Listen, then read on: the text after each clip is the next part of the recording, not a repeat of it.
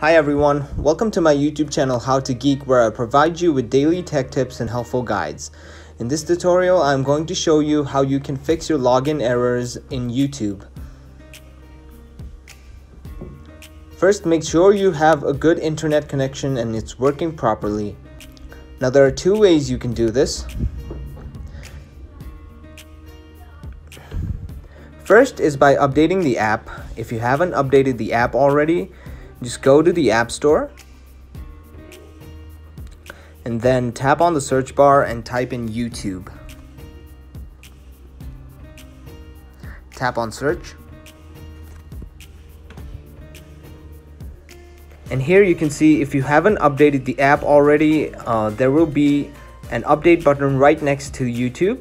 Tap on the update button and once the update is completed, check if the login errors still exist. If it still does, don't worry, there is another option.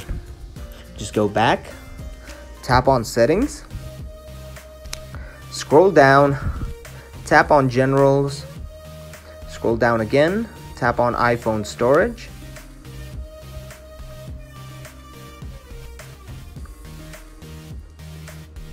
and then scroll down until you find YouTube. Once you find it, tap on it Tap on the option that says Offload App. Tap on it again. Once the app is done offloading, tap on Reinstall App. Here you can see YouTube is being reinstalled into my phone.